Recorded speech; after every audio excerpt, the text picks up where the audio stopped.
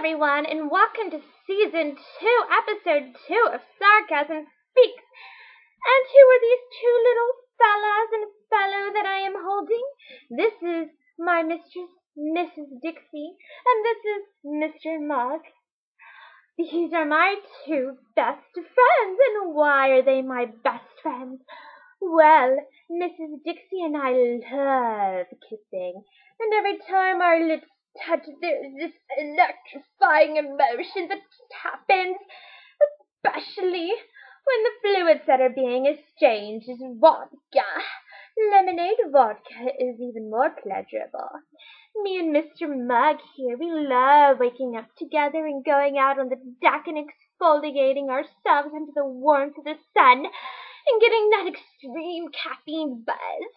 I take care of his caffeine buzz. I fill this baby up, and then he fills me up, and then we're all set and buzzed. Woo! And me and Mrs. Dixy, we love having Dixie wars. You know when someone stands up and says something that's supposed to be remarkable, and then you go clash right into their Dixie. We love it. It just thrills us.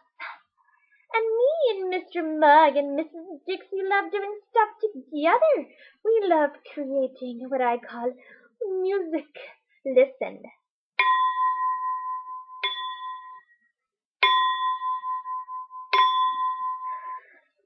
Thanks for watching, and I hope you enjoyed meeting Mr. Mug and Mrs. Dixy.